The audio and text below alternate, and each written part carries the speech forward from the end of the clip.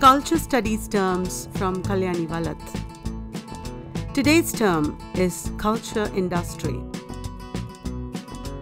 The term culture industry was introduced by Theodor Adorno and Max Horkheimer in their essay called The Culture Industry Enlightenment as Mass Deception.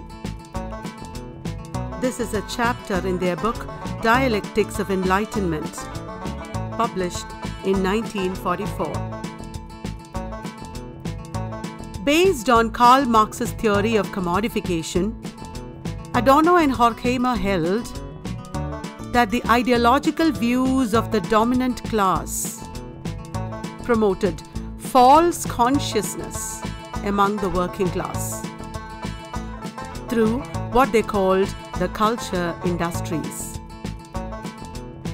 The term culture industry addressed primarily the capitalist driven entertainment industries that can range from exhibitions, sports events, books, newspapers, film, TV, pop music, etc. Adorno and Horkheimer considered popular music in Hollywood as rubbish, devoid of intellectual expression. They argued that through television, film, radio, and popular music, the cultural industries disseminated knowledge in such a way as to subject the consumers to dominant ideologies. The term culture industry described both the production of massified cultural products and homogenized subjectivities.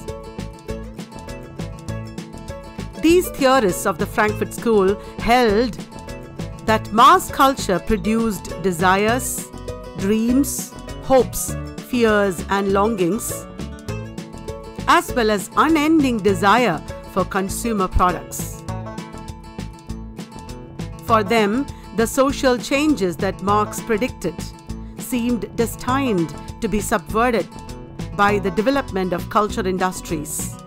For the culture industries were all powerful and all knowing, unlimited in power and scope.